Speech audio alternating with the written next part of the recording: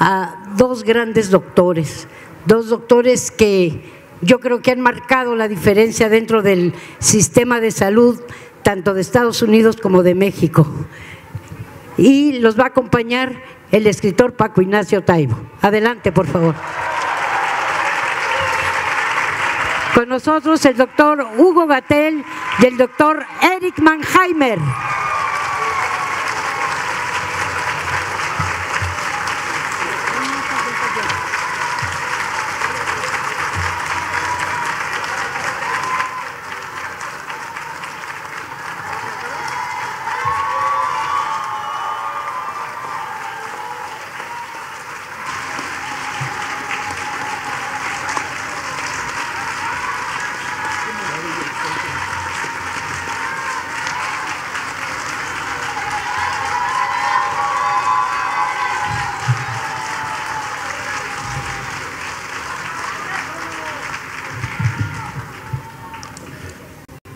Buenas tardes a todos y a todas.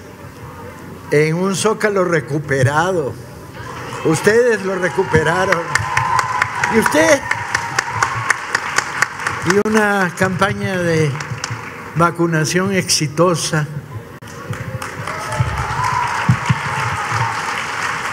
Y unos ciudadanos responsables que combaten a la pandemia sin renunciar a que el zócalo es nuestro, compañeros.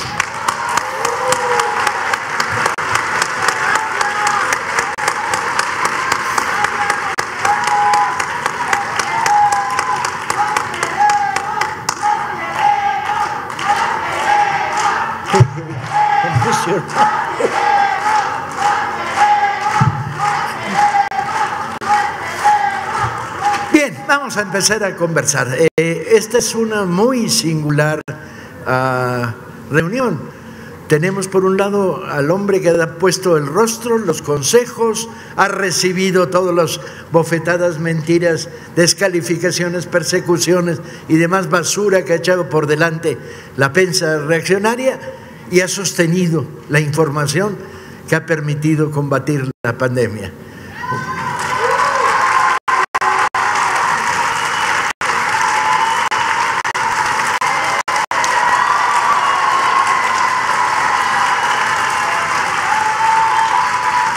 Y tenemos un novelista que reúne condiciones muy peculiares. Es novelista, es autor de una novela que se titula Doce pacientes, que hoy afortunadamente sale editada por el Fondo de Cultura y estará en esa mesa adelante para todos los que la quieran leer y comprar. Pero además, Eric Mannheimer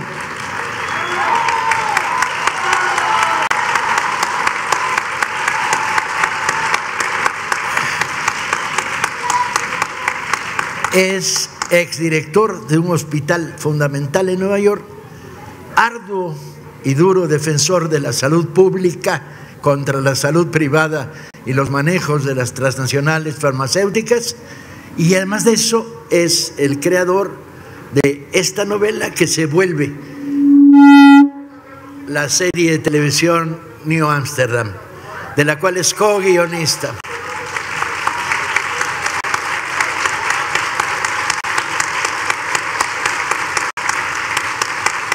Y entonces cruzamos a todo nuestro equipo. Yo tengo poco que decir, excepto colaborar a que fluya el diálogo y la discusión y a poner a conversación, a discusión, primero en la primera parte de esta charla, que va a ser un poco más larga de lo habitual, el tema de la salud pública en México y en Estados Unidos, y segundo, ah, vamos a presentar la novela, darle entrada en, el territorio de los lectores. Ah, yo creo que, hay poco que decir ah, para los que somos fervientes, declarados y militantes eh, en la salud pública. Un país sin salud pública es un engendro, es una caricatura de país. Y la salud pública lo que tiene es su condición esencial de ser democrática. de no permitir que sea el Dios dinero, en la lógica neoliberal, el que determine quién sana, quién se cura y quién muere. En ese sentido, ah, quizá la pandemia vaya a traer consigo una reflexión social profunda y una voluntad gubernamental potente para fortalecer la salud pública en México y que no nos suceda lo que nos sucedió, que nos vimos colocados en mitad de una crisis de salud, habiendo heredado una infraestructura que estaba repleta de hospitales donde alguien había vendido el equipo radiológico, de salas de hospital donde eh, se les había olvidado a la hora de inaugurarlas el techo, de un desastre de negocios turbios por todos lados que hacía que la salud pública mexicana quedara debilitada ante las necesidades del país. Abrimos contigo, ¿no? Para contar que en qué estado estaba la salud de este país cuando, cuando tomamos el poder.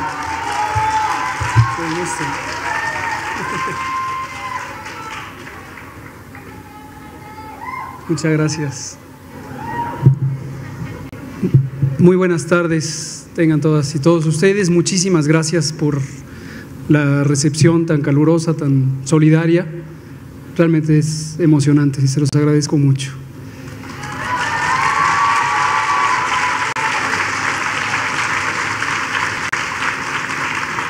Quiero también agradecer eh, de inicio a Paco Ignacio Taibo, a todas las compañeras y compañeros del Fondo de Cultura Económica, de Educal, por haberme invitado a esta reflexión y por haber editado esta muy pertinente obra que es muy ilustrativa de las grandes transformaciones de salud y su nicho, las grandes reversiones o transformaciones sociales.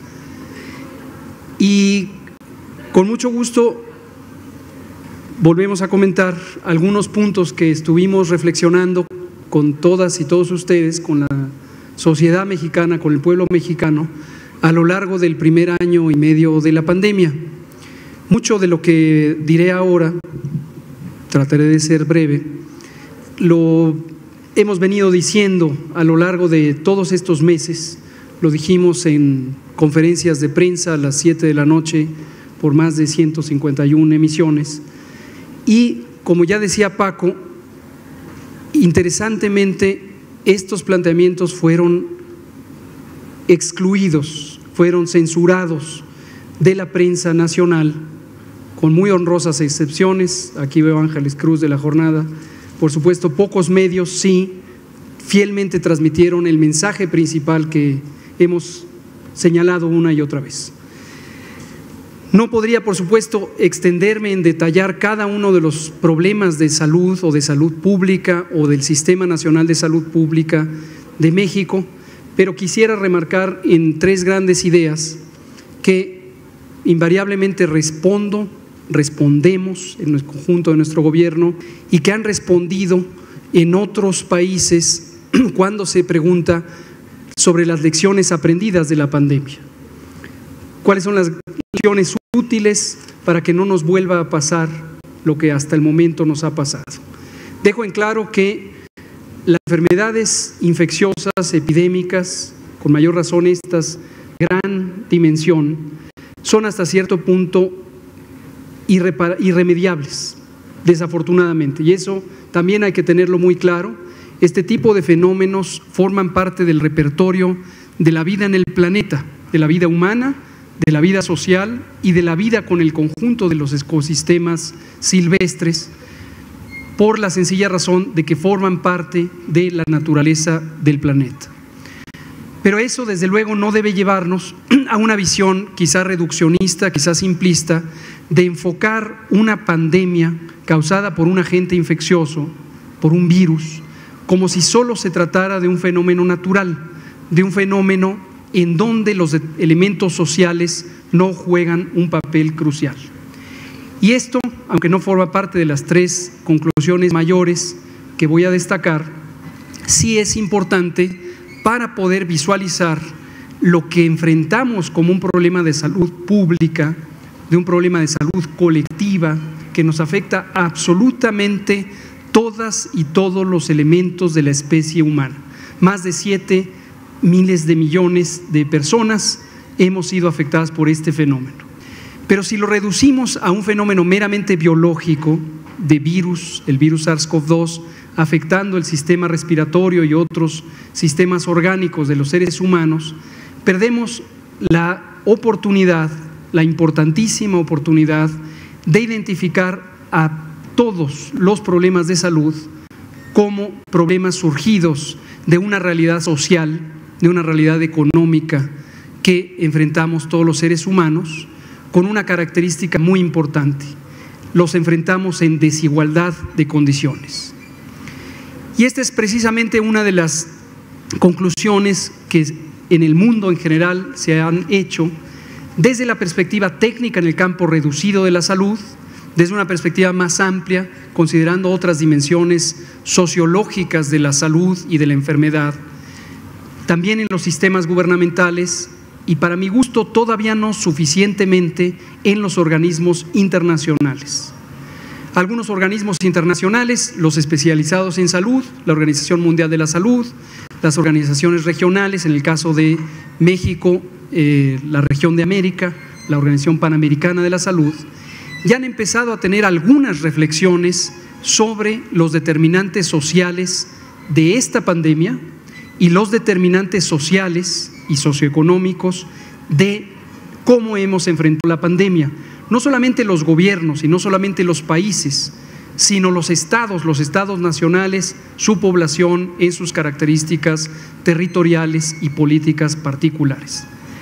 Considero que este es uno de los elementos pendientes entrar a una reflexión mucho más profunda sobre por qué en cada país, en cada Estado nacional, se vivió cierta realidad y no otra distinta.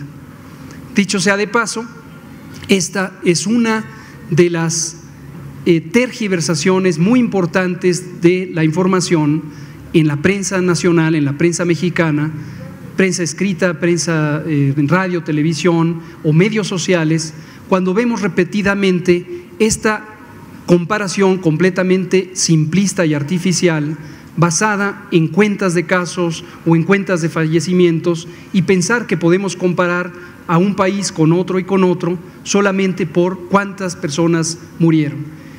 No quiero ser irrespetuoso para todas las personas que han tenido este tipo de planteamiento en cierto tipo de prensa escrita o radiofónica o televisiva o las redes sociales, pero por decirlo menos es una sobresimplificación tan elemental que resulta ofensiva para el propio pueblo de México que hemos sufrido la pandemia.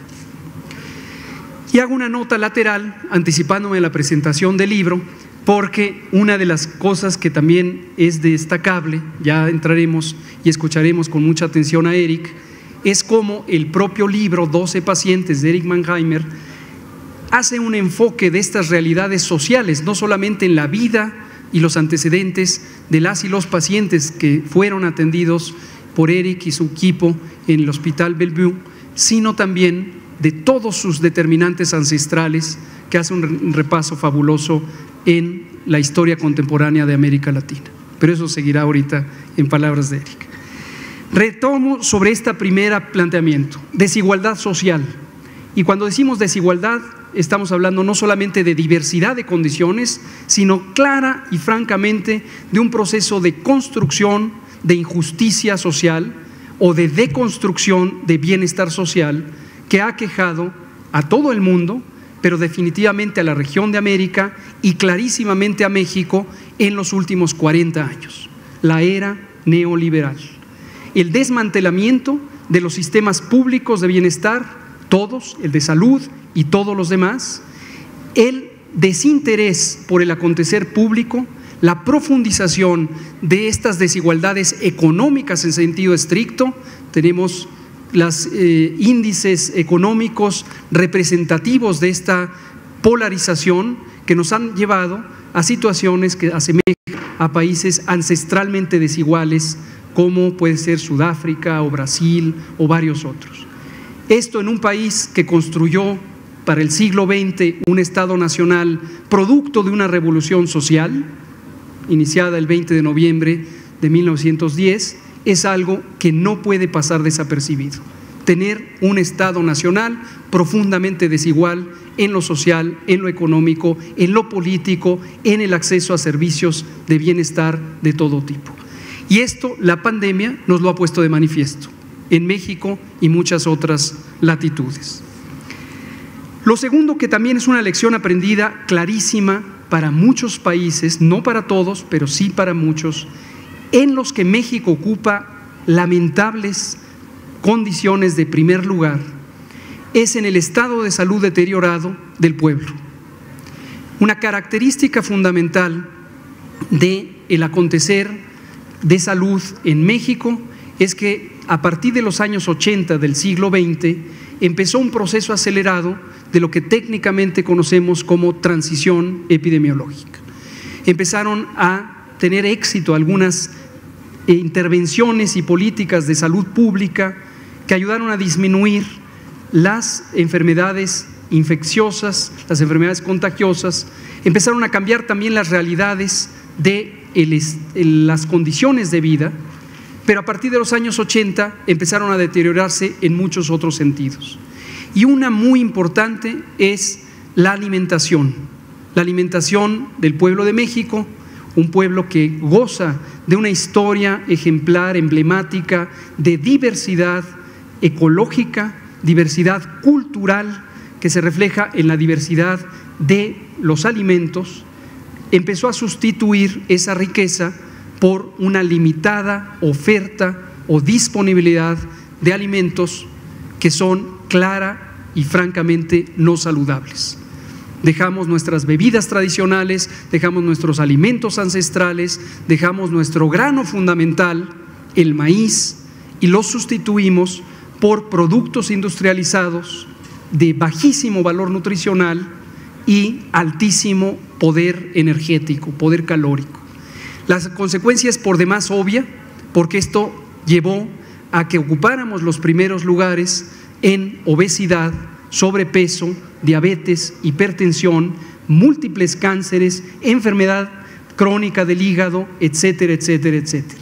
Un dato crucial es más de la tercera parte de la mortalidad en México, sí, la mortalidad es consecuencia directa de estos estilos, estos modelos de consumo que tenemos hoy, producto de esta transformación retrógrada desde los años 80, que también acompaña al neoliberalismo, a la avidez por la generación de riqueza para concentrarla en las grandes corporaciones transnacionales.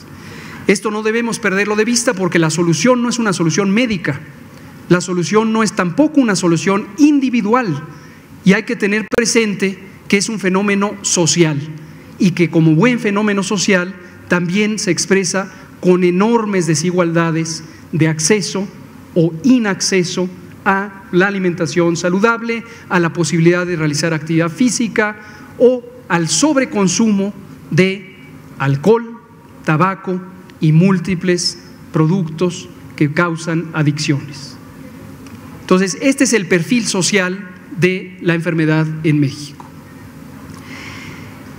Cuando viene la pandemia de COVID-19, empieza a construirse la evidencia científica y también la evidencia vivencial de una epidemia, sí, en primera y básica instancia causada por una enfermedad infecciosa, por una partícula infectante, el virus SARS-CoV-2, pero que en estos contextos se amplifica y se selecciona afectando a las personas que ya de por sí tenían un estado de salud deteriorado.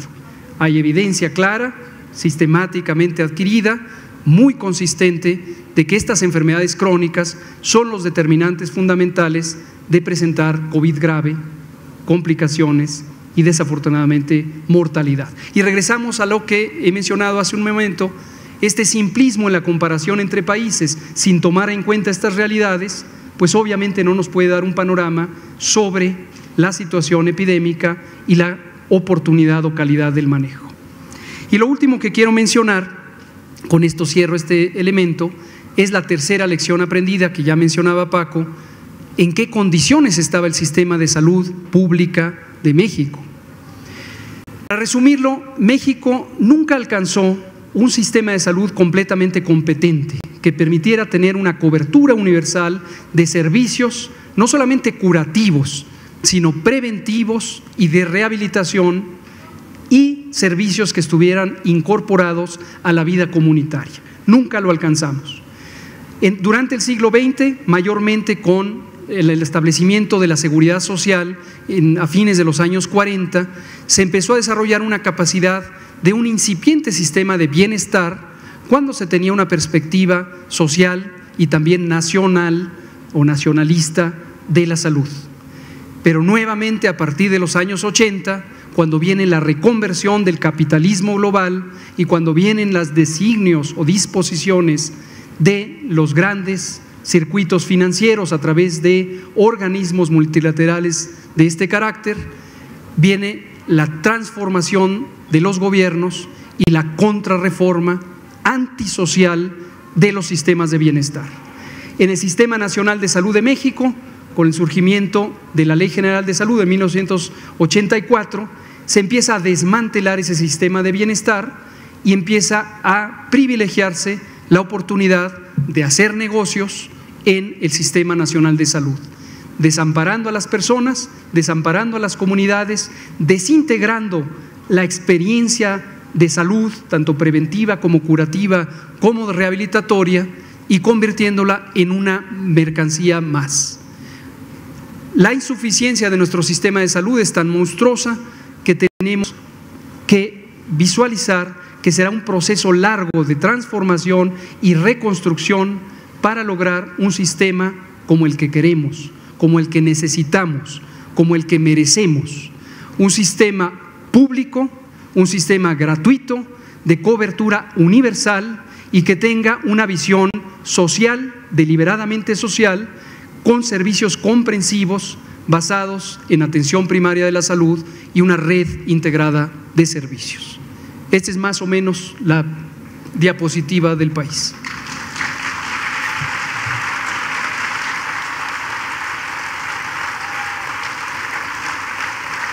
Eric, detrás de, tu libro y de la serie televisiva, lo que hay es experiencia, o sea, lo viviste y tu batalla por la salud pública ejemplificada en el hospital es una acumulación de reflexiones y experiencias. Cuéntanos la versión que tiene alguien desde los Estados Unidos. Ok, gracias. Hable tan buen español. Sí, un poco. Pero necesitan mis notas, no sin, sin los papelitos. Es un gran honor participar en la Feria del Libro aquí en México y con Hugo. Y gracias Paco y Paloma, Marina y todo el equipo de fondo. Mi libro 12 pacientes.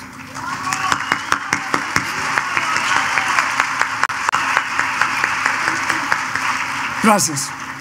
Mi libro 12 pacientes y el programa de televisión New Amsterdam, inspirado en el libro, tratan de la relación entre la salud de los individuos y un mundo social, político y económico que comparten. No mayor prueba de esta relación que la pandemia mundial de COVID-19.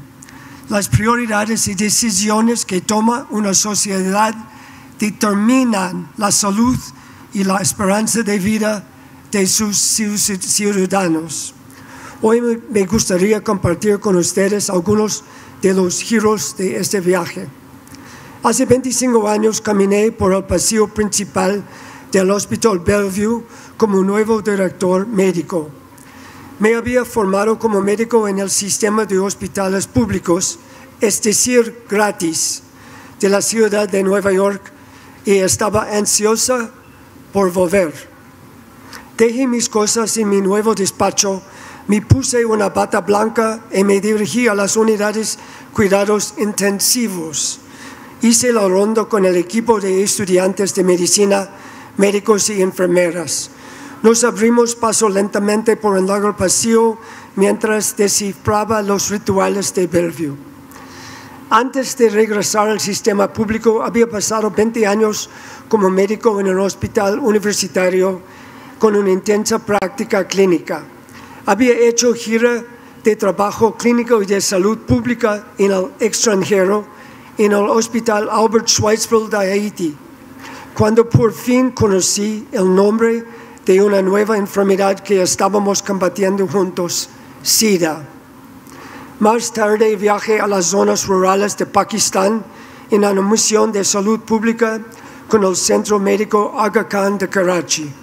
La violencia de la invasión rusa en el vecino Afganistán había creado enormes campos de refugiados pastunes y graves problemas sanitarios. Esa violencia anunciaba una amenaza política y humanitaria que continúa hasta el momento. Aquella tarde en Bellevue, un paciente evidentemente llamado sin techo fue presentado durante nuestros ronda por un joven médico que nos repasó el diagnóstico, los resultados de las pruebas y los tratamientos. El paciente de mediana edad estaba a nuestros pies mirándonos ansiosamente. El tiempo que un médico pasa con sus pacientes ah, se había ido reduciendo desde hacía tiempo y el registro electrónico ponía más distancia entre nosotros. Pero no me había dado cuenta que habíamos dejado de usar nombres personales. Se había sacrificado el nombre del paciente por la eficiencia y la productividad acerqué una silla al lado del paciente y me senté.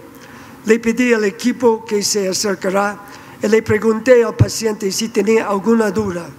Era un hombre elocuente con acento de Trinidad. Nos preguntó cuidadosa y amablemente sobre su neumonía, los, sus medicamentos y su pronóstico. Miré su pulsera de plástico. David Naipaul le pregunté si era pariente de V.S. Naipaul, escritor y premio Nobel, que me había arrastrado a través de las migraciones forzadas y las diásporas con sus fascinantes libros cuando estaba en la universidad. La política, el destino habían llevado a nuestro paciente, primo del escritor, a la ruina económica y la pérdida de su familia. Las lágrimas fluyeron y él se atragantó cuando la enormidad de lo sucedido salió de él.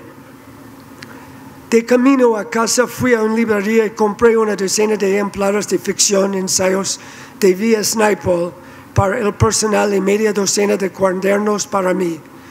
Quería que los jóvenes médicos conocieran el mundo del que procedía este abogado sin hogar el torbellino de la historia que había llevado a su familia de la India al Caribe y luego a la ciudad de Nueva York.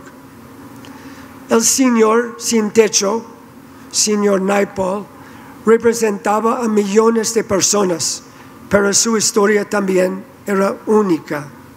En cuanto a mí, sentí que era un momento extraordinario para ser testigo y participante de una drama mucho mayor cada sin techo tenía una historia larga y profunda, iluminando el presente.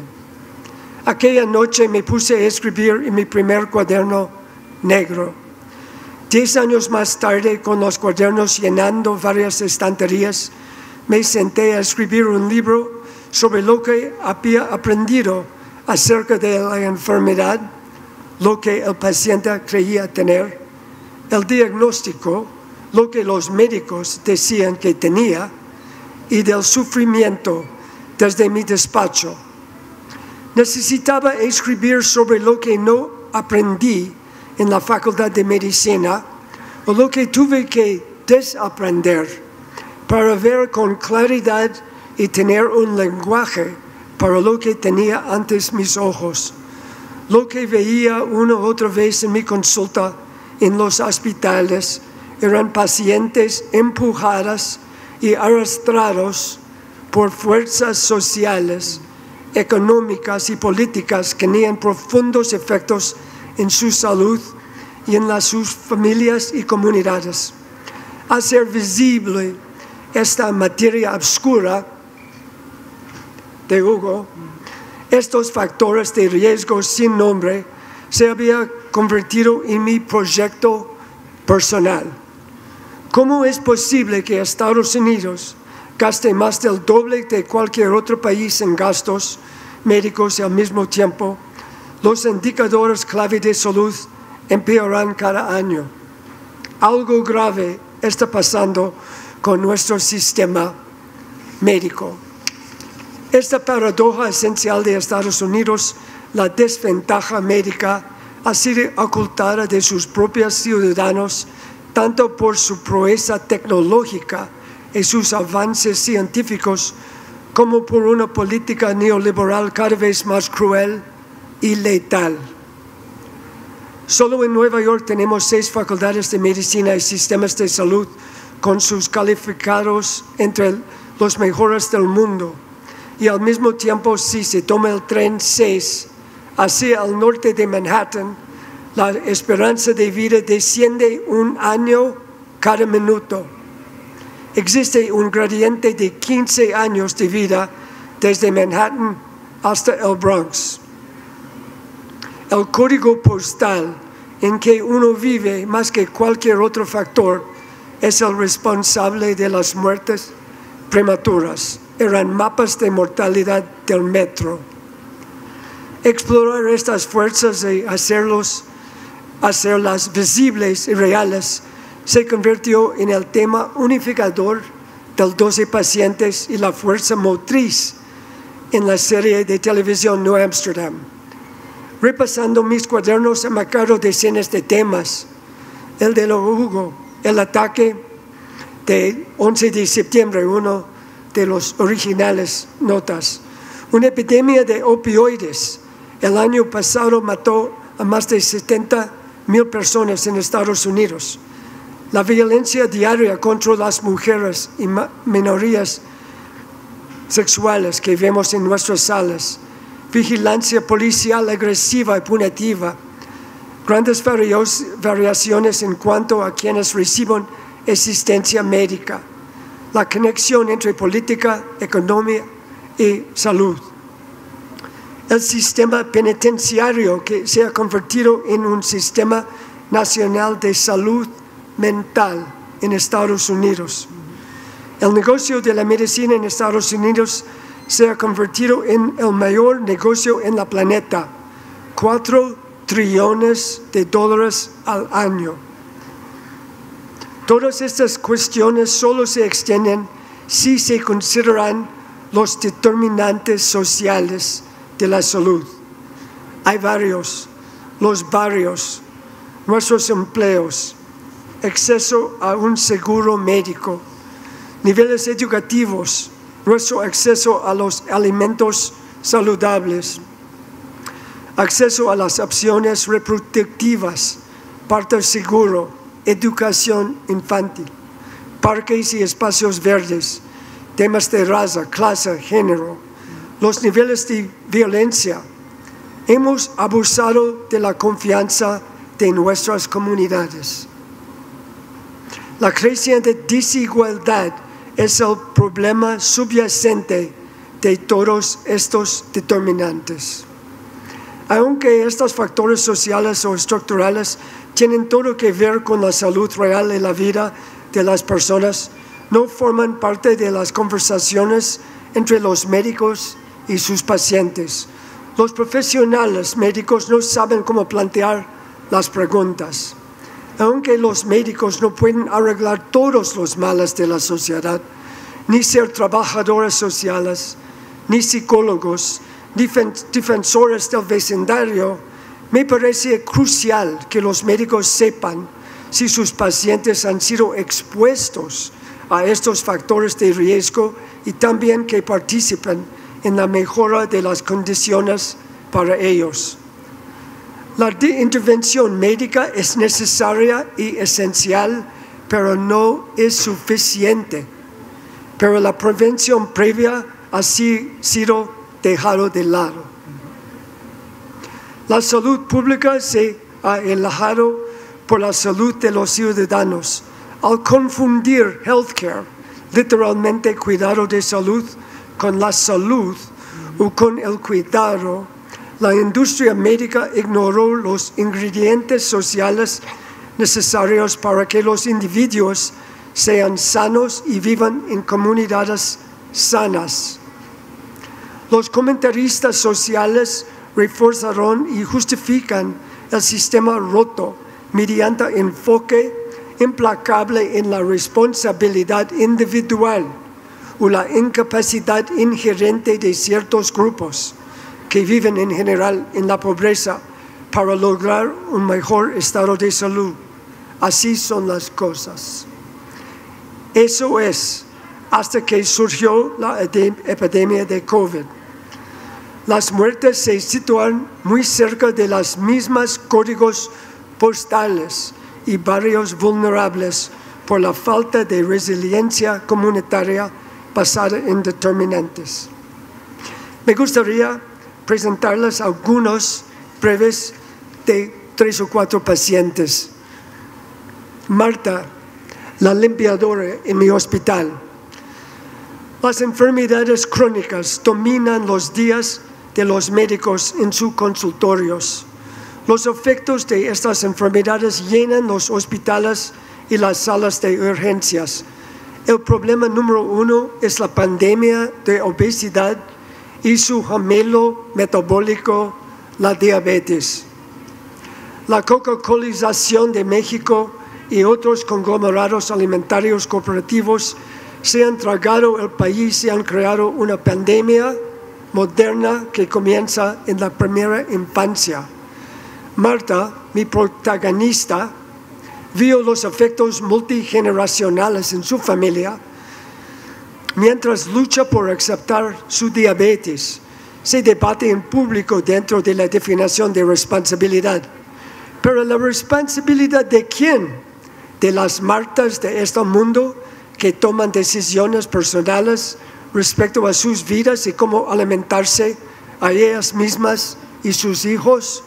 Marta llegó a la conciencia política antes de su cirugía bariátrica y me preguntó, ¿qué pasa, Eric, con la industria de billones de dólares que sobreproduce alimentos en cantidades industriales, destruyendo el suelo, los suministros de agua, dirigiéndose a los consumidores jóvenes, utilizando los expertos de las redes sociales?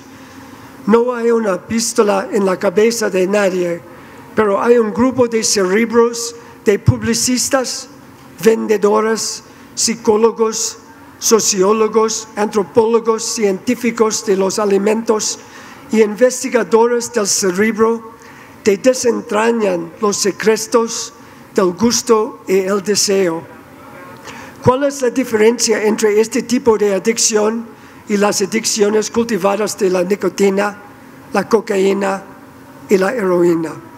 Esta es una verdadera investigación translacional, desde el banco hasta los pasillos de Mega. Marta me lo dijo sin rodeos. Los médicos trataban los síntomas de una epidemia generalizada que era mundial y que llegaba también a las economías en desarrollo con un arsenal cada vez mayor de medicamentos para la diabetes, consejos dietéticos bien intencionados pero sin sentido, que la industria penetraba más en todos los rincones de la sociedad y en todos los grupos de edad. Los ricos compraban productos orgánicos y bebían cafés con leche de soja. ¿Y el resto de nosotros? Preguntó Marta. Una otra, Tanisha, es otra pandemia de nuestros niños. Si Bellevue es conocido por algo, es por las enormes salas de psiquiatría que albergan a casi 500 pacientes de todos los rincones del mundo. Esta división del hospital había sido mi favorito desde el día en que llegué a Bellevue hace casi 25 años. El tiempo de los pacientes pasan en el hospital se ha reducido a días con poco tiempo para conocerlos. Las unidades de psiquiatría son hasta cierto punto una excepción. 30 días hospitalizadas eran lo normal. Un poco más tiempo para pasar con pacientes. Las unidades más inquietantes de Bellevue son las salas infantil de psiquiatría, llenas de niños entre 4 y 18 años, lleven la pesada carga de una sociedad desechable, admitidos con una decena o más de medicamentos, con el mínimo de cinco diagnósticos, atendidos por un equipo grandísima y miscelánea de expertos, gruesas fichas de papel demasiado pesadas para cargar registraron cada caso. Fadi Haddad, jefe de psiquiatra infantil por aquel entonces, me había presentado a Tanisha, de 16 años, una nueva admisión, pero una paciente conocida con múltiples hospitalizaciones. Se ha escapado al hospital a días en la oscuridad para evitar una familia violenta y abusiva y para ser admitida en el único lugar seguro que conocía en la ciudad de Nueva York, un pabellón psiquiátrico. Mientras hablamos de Tanisha, Fadi me introdujo en el mundo de los ACE, o experiencias adversas de la infancia, y indirectamente en todas las Tanishas que existan. Los abusos sexuales, físicos, psicólogos, y la negligencia en las familias tiene efectos profundos y persistentes en los niños pequeños que duran toda la vida. La suma de los tipos de experiencias negativas en la puntuación ACE reveló un pronunciado efecto de dosis que presentó como enfermedades comunes décadas más tarde. Enfermedades cardíacas, hepáticas, enfermedades pulmonares, adicciones, problemas de salud mental y suicidio. Los daños que produjeron en la infancia y las enfermedades aparecieron en la mediana edad. Sin saberlo, gran parte de lo que hacíamos los médicos al atender a nuestros pacientes era reconocer o tratar los residuos de los traumas de la infancia y las respuestas emocionales inductuales, perdón, conductuales automáticas que habían superado su fecha de vencimiento. Atestiguar y validar el comportamiento atascado y los patrones a lo largo de la vida ha sido una competencia fundamental de los médicos durante milenios. Era quizás lo más antiguo útil que podíamos hacer por nuestros pacientes cuando no podíamos hacer mucho más. Corremos el riesgo de perder este ritual de curación en nuestro sistema médico neoliberal tan eficiente y productivo. Un poco sobre otro paciente, un piloto. Este piloto, Juan Guerra, se había convertido en un adicto a la heroína durante su segunda misión como piloto de helicóptero en la guerra de Vietnam. Como muchos militares de esa guerra, no fue bien recibido al regresar a Estados Unidos. Hay millones de este tipo. Se encontró desempleado en una década de depresión económica.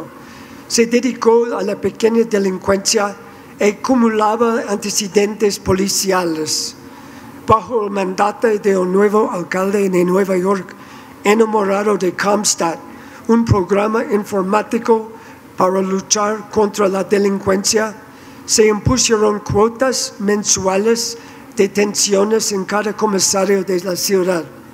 Al cabo de un mes, Guerra fue detenido por pasear su perrito Chihuahua sin correa.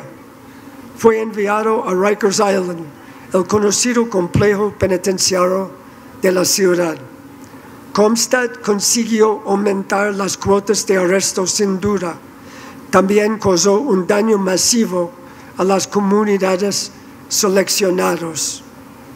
Conocí a Guerra mientras hacía la ronda en nuestra unidad penitenciaria. Su cuello destacaba con un grupo de ganglios linfáticos. La prisión no era un lugar para recibir atención competente. Aceleré las cosas si se le diagnosticó cáncer de garganta. Le colocaron una sonda de alimentación y programaron quimioradiación unas semanas después. Lo mantuvimos en Bellevue y trabajamos para conseguirle la liberación compasiva al Hospital General. Yo mismo había pasado por este mismo cáncer de garganta. Sabía lo que Guerra y su familia necesitaban para completar la terapia y tener una oportunidad de sobrevivir. Cuando conocí a Juan Guerra, sabía que Estados Unidos era el país con la mayor población encarcelada del planeta y había leído sobre los efectos que tiene en las comunidades, pero realmente no tenía ni idea de lo que significaba para las personas afectadas y sus comunidades. Ok, cinco minutos. Sí. Ah, sí. En estos momentos yo ya tengo todo, todos los síntomas, todas las este y como que urge hacer una pregunta. ¿Hay futuro optimista? ¿Hay futuro optimista? ¿Vamos a poder desbordar la pandemia y encontrar normalidades? Y al mismo tiempo, ¿vamos a poder construir un sistema de salud pública integral, coherente, no abusivo? A ver si se me bajan los síntomas que me produjo en, la lista exhaustiva. Pienso que sí, definitivamente pienso que sí y quisiera ilustrarlo con tres experiencias o tres perspectivas o dimensiones de lo que nos convocaste a hablar, la solidaridad social durante la pandemia. Y tiendo un puente a los relatos de Eric, también para volver a recomendar el libro, apasionante, por ser esta perspectiva donde a partir de una experiencia en hospital, a partir de síntomas, lo que los médicas y médicos estamos acostumbrados a reconocer, Eric nos dice deliberadamente que busca los elementos que están detrás. Y detrás se va desde las realidades de la primera infancia de las personas, su comunidad, su historia, y en algunos casos se remonta literalmente a la historia contemporánea, mayormente de América Latina. Hay, tres dimensiones que identifico de la solidaridad durante la pandemia en México y no dudo que también en otros países se haya manifestado. Me gustaría destacarlas para alimentar a la esperanza, porque creo que esas raíces de la solidaridad son lo que nos permite vislumbrar la potencial oportunidad de transformar el sistema. Definitivamente tenemos que estar resueltos a transformar, no remendar, no reformar. Hay que transformar las raíces estructurales de este desastre en el que llevamos metidos 40 años y que todos y cada uno de los pacientes de Eric relatados en el libro muestran los estragos. Identifico un elemento, yo diría que ancestral, natural de las personas, que es la capacidad de ser compasivos, de ser empáticos, de establecer puentes a partir de la identificación del dolor, no en un plano racional, sino en un plano emocional profundo. Cuando nos vemos representados en la incertidumbre, en el riesgo, en la adversidad, y ese es algo que la pandemia nos ha puesto, automáticamente todas y todos buscamos un encuentro de corazón, de alma, con los que nos rodean. Si esa dimensión del encuentro lo podemos convertir activamente en gestos generosos, en receptividad, en simpatía, en actividad para resolver tanto lo propio como lo externo, entonces creo que hay esperanza. Pero necesitamos partir de esa esencia de generosidad estoy convencido el pueblo de México tiene hasta el tuétano. Ese es uno.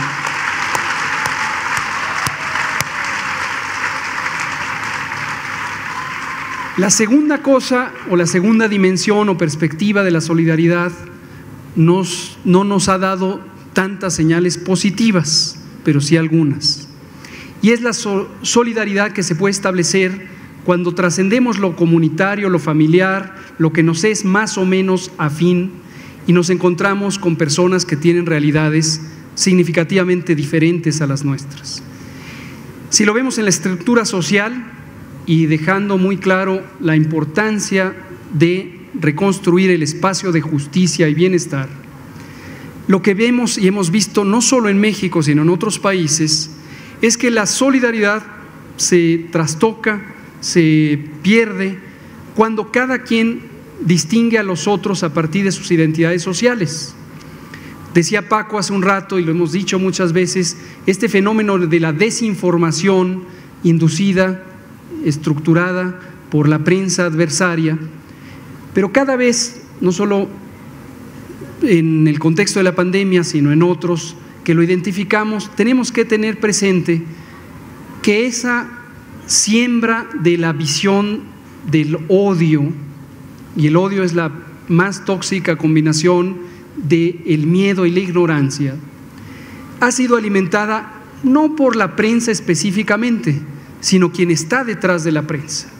Y quien está detrás de la prensa es grupos de interés que representan grupos sociales que eran privilegiados, han sido privilegiados y hoy se sienten amenazados por un pueblo que reclama su derecho, su espacio y reconstruye a partir de sí mismo una aspiración de bienestar y de igualdad. Y ahí es donde la solidaridad entre clases sociales nos muestra el egoísmo atroz que en el contexto de la pandemia y el temor, la incertidumbre, llevó a pensar que la pandemia nos venía de fuera.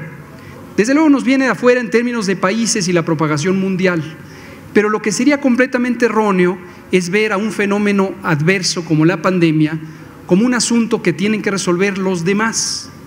Recordarán el dilema falso, inducido respecto al cubrebocas. No quisiera enfatizar esto una vez más, pero la idea del cubrebocas se convirtió en el instrumento con que las personas egoístas y los grupos sociales egoístas trataban de echarle la culpa a los demás. Que se ponga el cubrebocas porque si no me va a contaminar a mí y a mi familia y a mi pequeño universo. Cuando, en términos técnicos, si hubiéramos pensado en el cubrebocas como un instrumento de conexión social para protegernos unos a los otros, hubiéramos tenido también mejores resultados. Entonces, por eso dije que en esta otra dimensión no veo tanta esperanza, pero sí retomo la esperanza que surge cuando un pueblo es capaz de articularse y trascender el egoísmo pensando en la supervivencia y en el futuro de esta y las siguientes generaciones.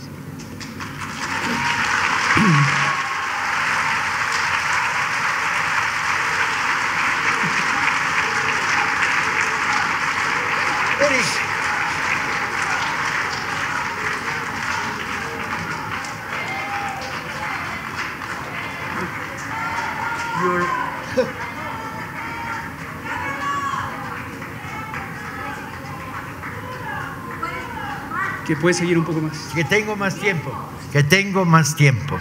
Me informa la directora de la feria que tengo más tiempo. Bien. Uh, again, on the idea, sorry, mil perdones. Es que con esto de que estoy rodeado por dos médicos no me atrevo a pedir permiso para fumar, maldita sea. Ya, es la, el, el, cerco humano. Ah, seamos demócratas aunque nos cueste más trabajo, los que me permitan ejercer el derecho a fumar, porque así es como pienso, levanten la mano. Los que no, me chingaron. Ni modo. Bueno, vale, avancemos. claro, sigamos la, la, idea de la medicina social como, como perspectiva de futuro, que en Estados Unidos es mucho más difícil de pensar que en México, ¿no? Uh, creo que las sociedades son tan diferentes en un sentido, en desarrollo, etc. Pero creo que en Estados Unidos tiene, no es un problema de, de dinero, por ejemplo gastamos en Estados Unidos más de cuatro, es, es, es un número clave, cuatro trillones de dólares cada año, cada año en la industria médico.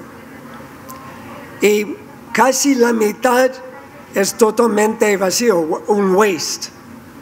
So, imagino que tenemos todo lo posible en términos de recursos, y tenemos un millón de médicos, tenemos seis mil hospitales, tenemos los mejores universitarios, etcétera, etcétera. Pero, tenemos, pero no tenemos la política y el liderazgo en este momento o por años ya para unir todos estos. Es fragmentado todo ya después de presidente Trump. So, estamos en este momento luchando para preservar democracia, mucho más básico de salud pública en este momento, es una lucha total en este momento para preservar Estados Unidos en la dirección de oportunidad. Es clave, es otra cosa ya. Es la primera vez que escucho a alguien que pone sobre la mesa las ventajas de ser mexicano sobre ser norteamericano. Y lo agradezco, francamente lo agradezco. Así como agradezco la, la visión optimista forzada, pero optimista al fin y al cabo, porque eh, históricamente las grandes crisis generan grandes reacciones, generan grandes reflexiones, generan pensamiento crítico, pero generan pensamiento solidario. Y el debate sobre la salud pública es un debate que está intrica, imbricado con el debate del pensamiento solidario. ¿Por qué yo sí? Porque tengo dinero, porque ellos no, porque no lo tienen. Sí, hay que desterrarlo de las mentalidades de una colectividad nacional. Y en este sentido es interesante. Ah, el libro de, de, Eric a mí me resultó muy ilustrador, porque además me movía de un lugar a otro, de un paciente a otro, de un tema a otro y en, todos ellos apuntando y señalando cómo nada es lo que simplemente parece, sino que es lo que hay atrás de la desigualdad. Y, las reflexiones de, de, Hugo me parecen muy sanas. Ah, para mi gusto, falta quizá un poco decir, la lista de los culpables de que haya habido hospitales que no tenían techo y se inauguraron, la lista de las farmacéuticas que hicieron negocios turbios a diestra y siniestra en este país. La lista de los directores de hospitales que tenían una farmacia fuera de su hospital y que no permitían que los doctores recetaran, sino que recetaran para la farmacia, lo cual ya no solo un fraude, sino un delito criminal. A la lista de administradores que se robaron el dinero de sus hospitales alegremente. A no hay reparación de daños si no hay justicia. Hay herida y, hay que reparar daño. Yo también creo que el sistema de salud que tiene que surgir potenciado en el futuro mexicano, tiene que surgir de una reparación de daño y de una limpieza del aparato. Sí, yo coincido totalmente en eso.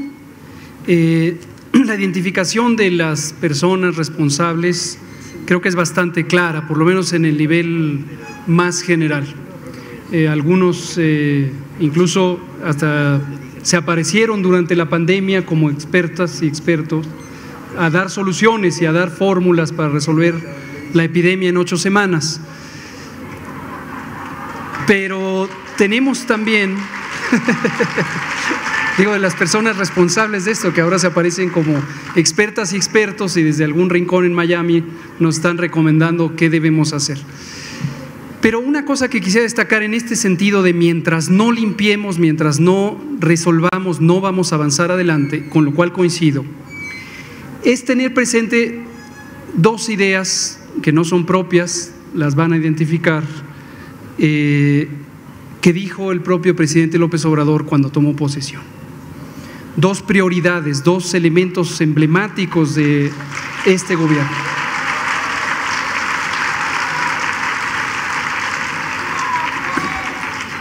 Una que lo ha dicho una y otra y otra vez, y esta mañana lo volvió a decir, es el tema de la corrupción. Y va a ir a, Nueva York, a la plenaria de la ONU, del Consejo de Seguridad, y va a hablar de la corrupción. El estereotipo de la... Claro.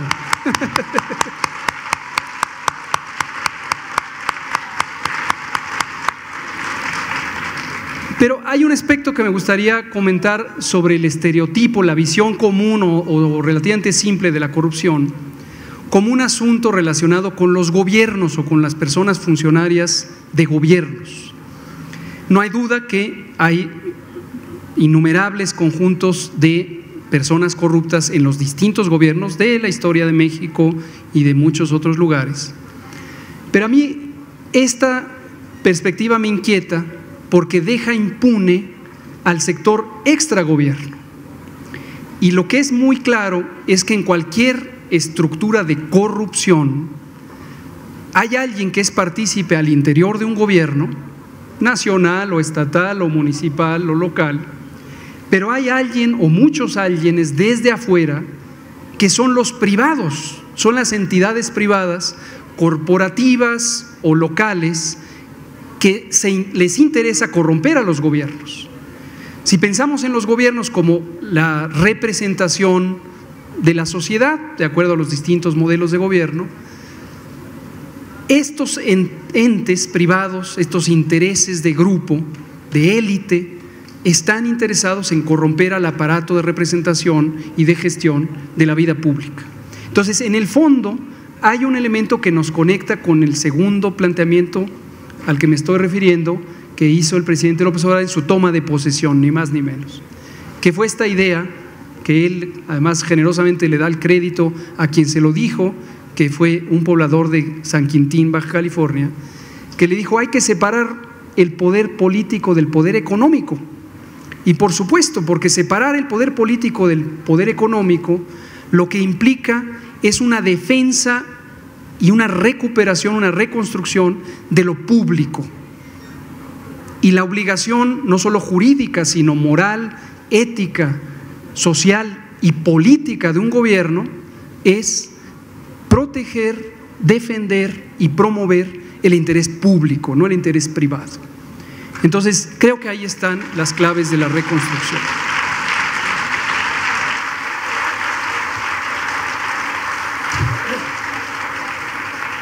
Conversando una, una vez con Andrés Manuel, él eh, planteaba la teoría del perdón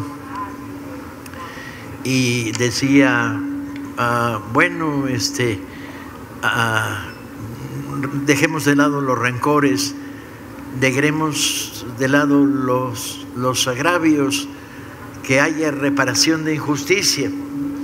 Y yo decía, y venganza y me miraba y decía, no, no, a ver, que haya reparación de injusticia, dejemos eh, de lado, de, convirtamos en secundario. Y yo decía, siguiendo, bueno, al fin y al cabo yo soy un humilde escritor que escribió la biografía de Pancho Villa, y entonces decía, y venganza. Ah, lo que quería decir en esta charla, que era más o menos eh, con sentido del humor y que destacaba variaciones sobre un mismo tema, lo que quería decir es que ah, si no sientas el ejemplo, si no creas una administración pública inmune al cañonazo de Obregón, Obregón en su día dijo que no había general que resistiera un cañonazo de 50 mil pesos, y nuestra generación respondió, a nosotros no hay cañonazo que nos pandee, los que no estamos a las ventas no nos pueden comprar, no hay dinero en el mundo para comprarnos. Y en ese sentido, el sentar el ejemplo de que la corrupción tiene castigo, de que el que esconde medicinas para lucrar en lo particular tiene castigo, va perseguido, va a ser perseguido por una sociedad que exige eliminación de agravio. Ah, y eso está en el aire y creo que es un factor que tenemos que considerar. Nos, nos alargaron el plazo. Eric, tenemos más tiempo. Tenemos más tiempo. ¿Quieres abordar alguno de los temas o quieres contarnos hacia ahora cuál es tu siguiente libro? ¿O cuál fue la técnica, aunque ya lo contaste un poco, como fuiste armando 12 pacientes? ¿no? creo, que, que este tema que estamos hablando hoy es, es probablemente al fondo lo más importante porque cuando estamos hablando de los determinantes de salud, estamos hablando de la sociedad la integridad de una sociedad. So podemos usar un uh, vocabulario que uh, hacer las cosas un poco más sencillas, pero a reforzar la sociedad mexicana y la sociedad al norte de Estados Unidos, que es bajo mucho estrés. Tenemos que reforzar las cosas básicas. Y Hugo dijo hace algunos minutos yo he que la desigualdad, desigualdad que es aumentando, es la causa de causas. Es importante, tenemos dos causas de causas. Un es el problema climático, probablemente número uno. tenemos que confrontar esta día por día y realizar y establecer una, una organización, un, un, país totalmente unificado por eso.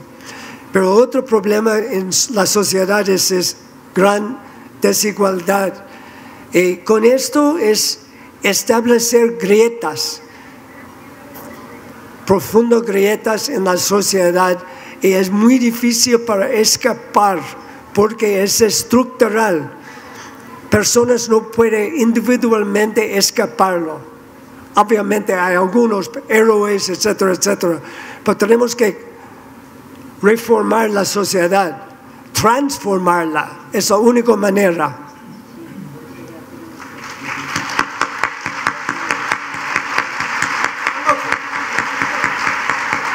Ok, uh, Eric, su libro está aquí a la venta léanlo, vale la pena. Vean la serie de televisión, que curiosamente es muy justa, muy, muy justa con el libro.